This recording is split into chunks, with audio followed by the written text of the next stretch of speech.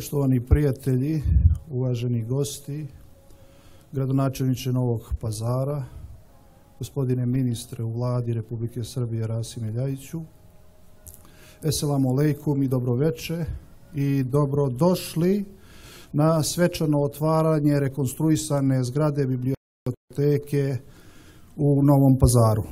Zgrada biblioteke datira još iz davne 1861. godine iz doba kada je 32. sultan turski Abdulaziz svojim dekretom, ukazom odlučio da na ovom prostoru između dvije kule podigne kasarnu u koju će biti smešteno tri bataljona tadašnje vojske, pečadije i jedna baterija topđija.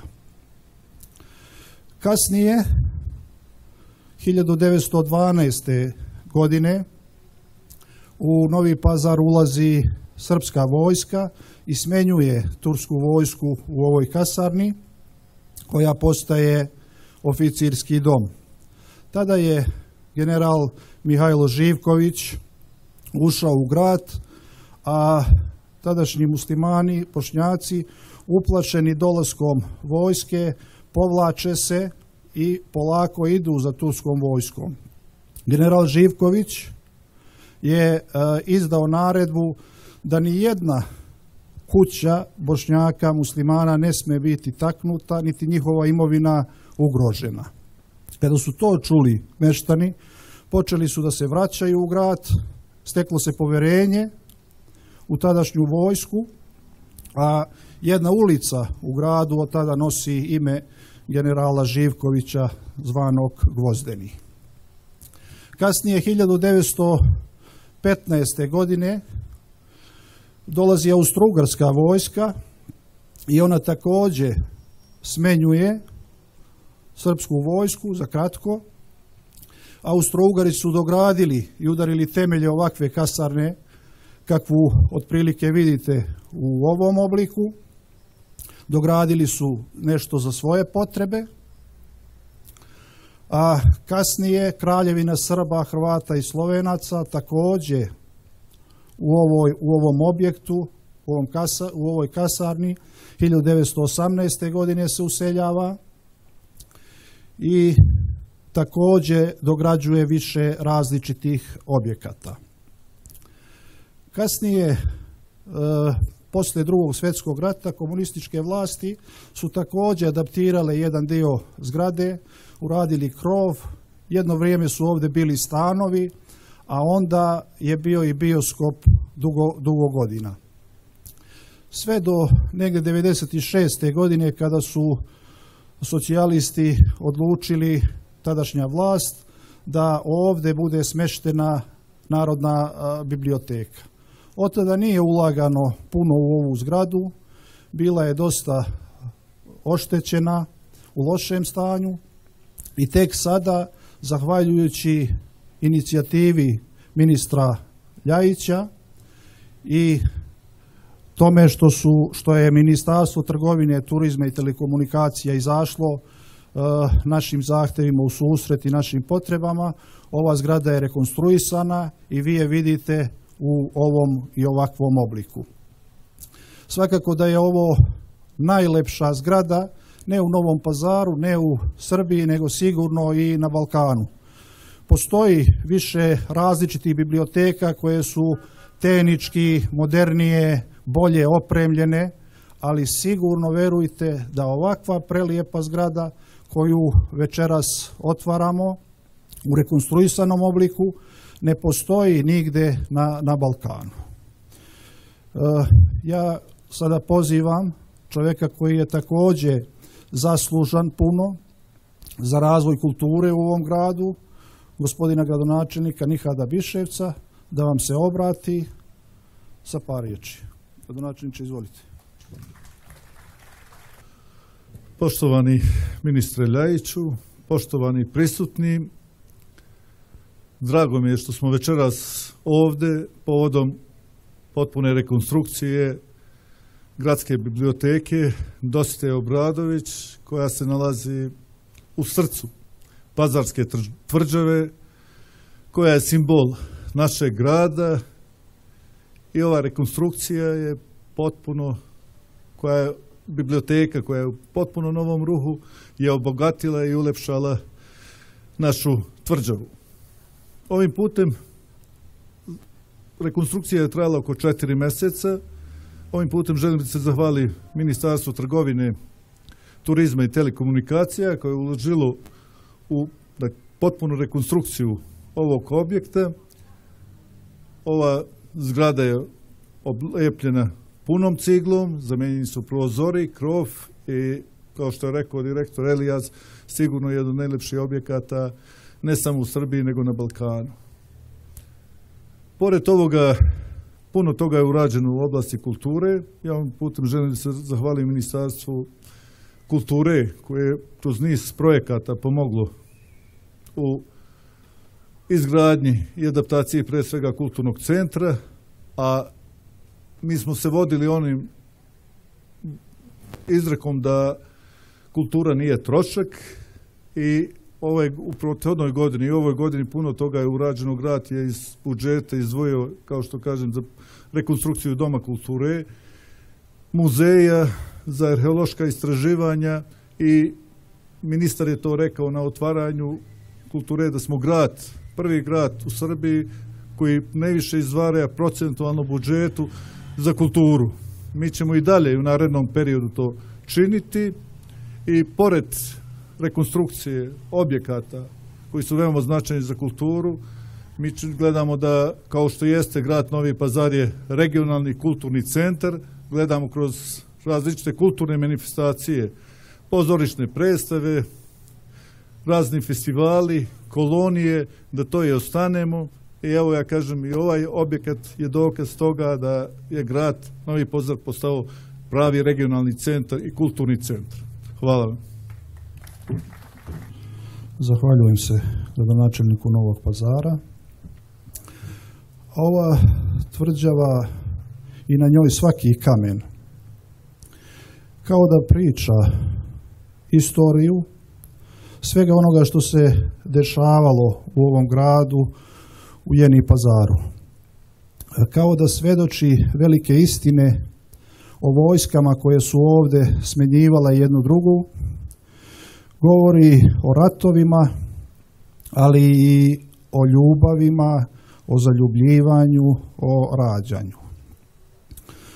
Mi svi zaista iskreno volimo Novi pazar.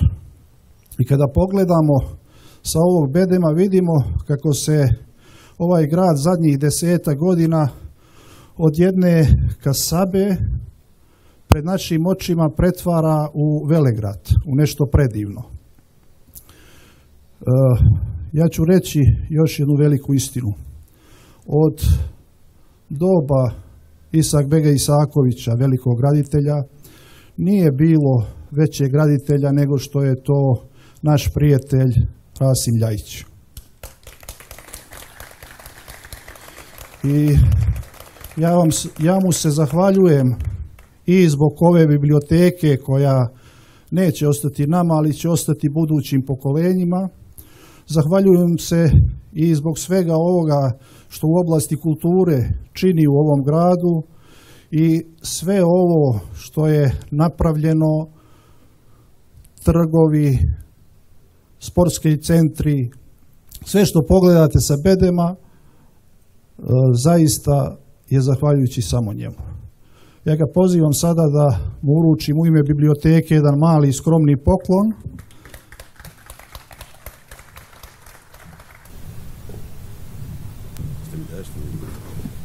E, pa to je specijalno ovaj sa kuglom. Aha, đule, diljeni su okolo.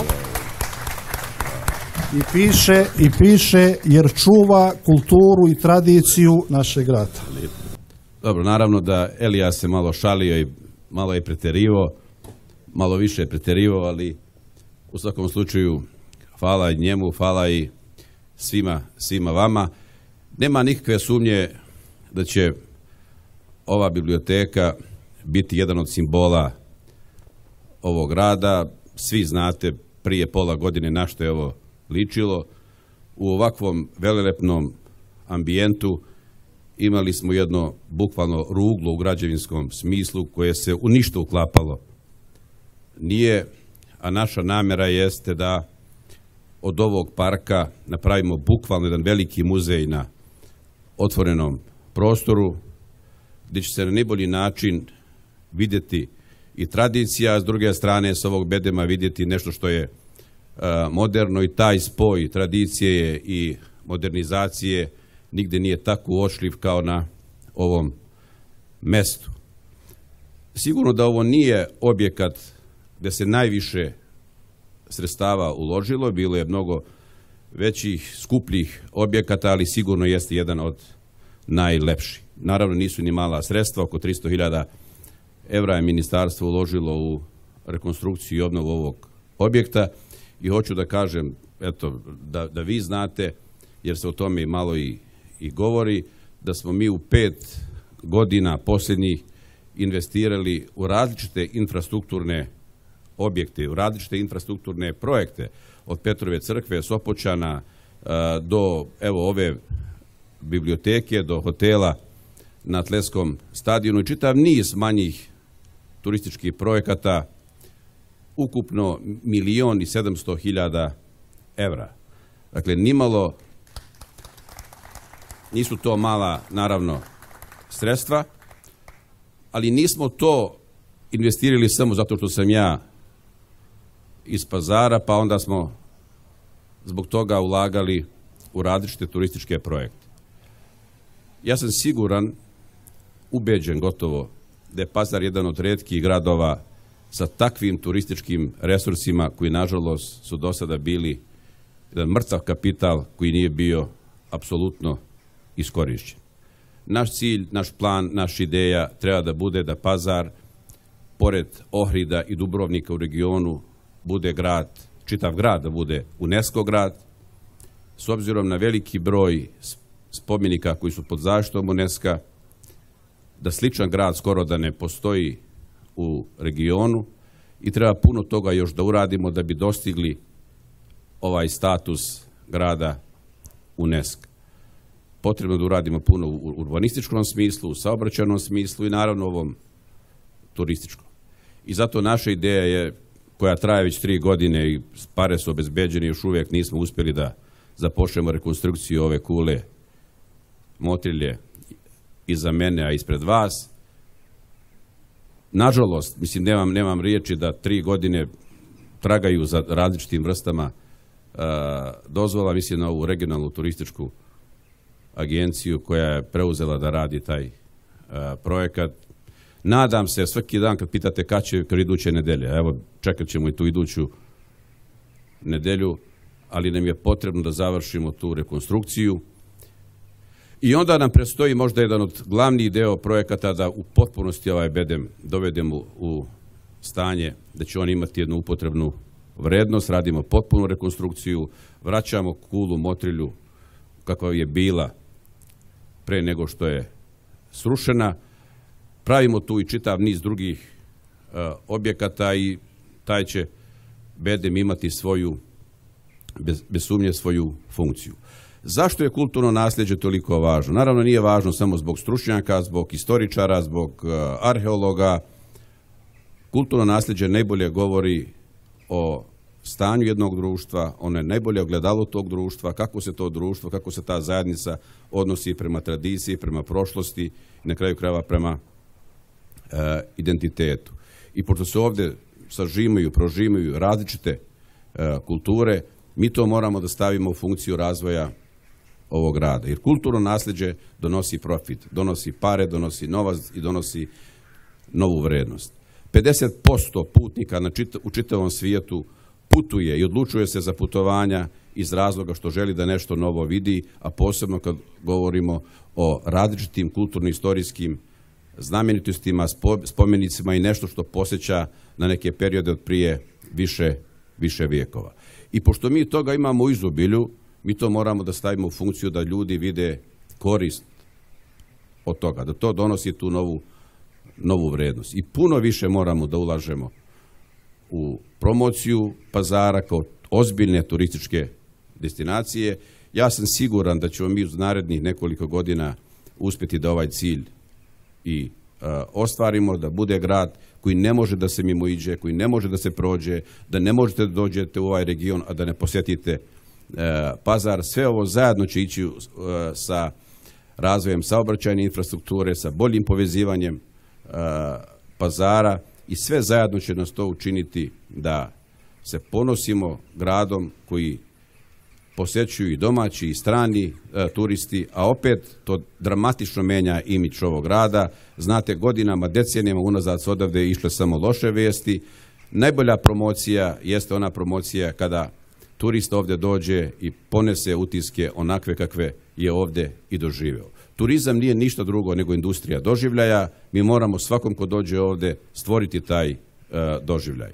Poznati smo po, po gostoprinstvu, poznati smo po tom kulturnom e, nasljeđu, po mnogim kulturno-istorijskim spomenicima, poznati smo po gastronomiji, dakle sve ono što predstavlja osnovne elemente za razvoj turističkog e, proizvoda. Pazar će biti brend, u to nema nikakve sumnje, radit ćemo na tome i svi moramo da radimo na tome da pazar predstavimo u najbolje mogućem svetlu. Nadam se da će lokalna turistička organizacija imati tu ključnu uh, ulogu. Nažalost, u prošlosti to nije bio slučaj.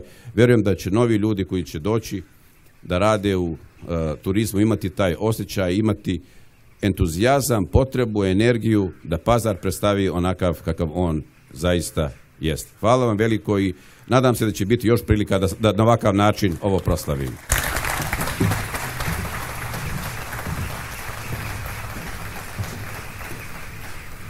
se još jednom zahvaljujem. Pozivam vas da svi zajedno se još malo družimo uz koktel prigodni koji smo priredili i u zdravlju se viđamo.